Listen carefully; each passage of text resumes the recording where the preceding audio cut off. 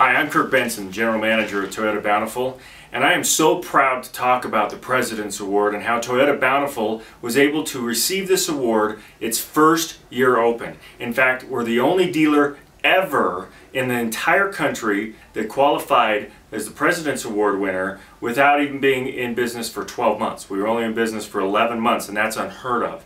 And that's because of exceptional customer satisfaction and making sure that we're taking care of everybody from our employees all the way to the customer to any part and aspect of our business. So I'm here and very grateful to say that this is the place that you should be doing business because we are the best. And it's not just us saying that, it's proven by the prestigious President's Award.